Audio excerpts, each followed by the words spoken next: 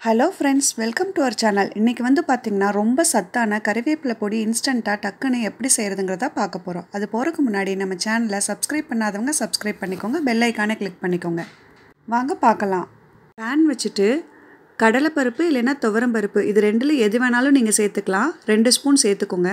நான் வந்து பார்த்திங்கன்னா ஒரு சின்ன கப் வந்து கறிவேப்பிலை பொடி செய்கிறேன் அதுக்கான வந்து ரேஷியோ இது. மீடியம் ஃப்ளேமில் ஓரளவுக்கு நல்லா வந்து ட்ரையாக ப்ரௌனாக ரோஸ்ட் பண்ணிக்கோங்க. அடுத்தது வந்து உளுந்து வந்து ரெண்டு ஸ்பூன் சேர்த்துக்கோங்க.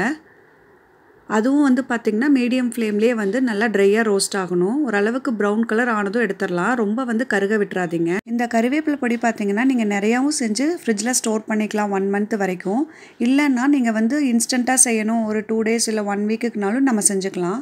இது வந்து பார்த்திங்கன்னா நல்லா ட்ரையாக ரோஸ்ட் ஆயிடுச்சு அடுத்து ஒரு ஸ்பூன் வந்து சீரகம் சேர்த்துக்கோங்க. மிளகு வந்து அரை ஸ்பூன். வர கொத்தமல்லி வந்து பார்த்திங்கன்னா தனியா வந்து ஒரு அரை ஸ்பூன். இதுவும் பார்த்திங்கன்னா நல்லா ட்ரையாகவே ரோஸ்ட் பண்ணணும். ஃப்ளேம் வந்து மீடியம்லேயே இருக்கட்டும். கருகிடாமல் பார்த்துக்கோங்க அடுத்து வந்து பார்த்திங்கன்னா ஒரு அஞ்சு வரமிளகா. நான் வந்து பார்த்திங்கன்னா ஒரு கப்புக்கு வந்து அஞ்சு வரமிளகா எடுத்திருக்கேன். நீங்கள் உங்கள் காரத்துக்கு தகுந்த மாதிரி எடுத்துக்கோங்க. அதையும் வந்து பார்த்திங்கன்னா நீங்கள் ட்ரையாக ரோஸ்ட் பண்ணி எடுத்துக்கோங்க. அடுத்தது வந்து கறிவேப்பிலை ஒரு கப் எடுத்திருக்கேன். அது தண்ணியில் நல்லா வாஷ் பண்ணிவிட்டு தண்ணியெல்லாம் ட்ரை ஆனதுக்கப்புறம் இந்த மாதிரி சேர்த்து நல்லா வந்து மிக்ஸ் பண்ணிக்கோங்க. மீடியம் ஃப்ளேமில் தான் இருக்கணும். நல்லா ட்ரையாக ரோஸ்ட் ஆகி வரணும்.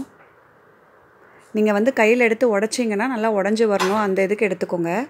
இப்போ வந்து பார்த்திங்கன்னா புளி வந்து கொஞ்சம் ஒரு சின்ன சைஸ் புளி பெருங்காயத்தூள் அடுப்பை ஆஃப் பண்ணிவிட்டு சேர்த்துக்கோங்க. அந்த சூட்டுலேயே வந்து பார்த்திங்கன்னா அது நல்லா வந்து மிக்ஸ் ஆயிரும். கண்டிப்பாக அடுப்பை ஆஃப் பண்ணிவிடுங்க பெருங்காயத்தூளும் புளியும் சேர்த்துக்கோங்க லாஸ்ட்டாக இப்போ பார்த்தீங்கன்னா எல்லாம் வந்து ஆறட்டும். சூடாக வந்து அரைக்க வேண்டாம். எல்லாம் ஆறட்டும். இந்த மாதிரி உடச்சிங்கன்னா நல்லா உடஞ்சி வரணும். இந்த அளவுக்கு ட்ரையாக ரோஸ்ட் பண்ணிக்கோங்க கருவேப்பிலையை. இதெல்லாம் நல்லா ஆறிடுச்சு இப்போது இப்போ வந்து பார்த்திங்கன்னா எல்லாத்தையும் ஒன்றா போட்டு நீங்கள் வந்து கிரைண்ட் பண்ணி எடுத்துருங்க. உப்பு வந்து தேவையான அளவு போட்டுக்கோங்க. இது வந்து ரொம்ப குறை குறைப்பாக அரைக்காதீங்க. ரொம்ப நைஸாகவும் அரைக்க வேண்டாம். ஓரளவுக்கு வந்து பதத்தில் அரைச்சிக்கோங்க. அப்போ தான் நம்ம சாப்பிட வந்து நல்லாயிருக்கும். ரொம்ப ஹெல்த்தியான டேஸ்டியான கருவேப்பிலை பொடி ரெடி இது வந்து பார்த்திங்கன்னா குழந்தைங்க கருவேப்பிலை சாப்பிடவே மாட்டாங்க ஒதுக்கி வச்சுருவாங்க. பெரியவங்க கூட அப்படி தான் இந்த மாதிரி கருவேப்பிலை பொடி அரைச்சி சாதத்தில் போட்டு கொடுத்தீங்கன்னா கண்டிப்பாக எல்லாருமே சாப்பிடுவாங்க. டேஸ்ட்டும் சூப்பராக இருக்கும். தேங்காய் எண்ணெய் நல்லெண்ணெய் நெய் எது வேணாலும் நீங்கள் கலந்து கொடுக்கலாம். இட்லி தோசை ரைஸ் எல்லாத்துக்குமே சூப்பராக இருக்கும்.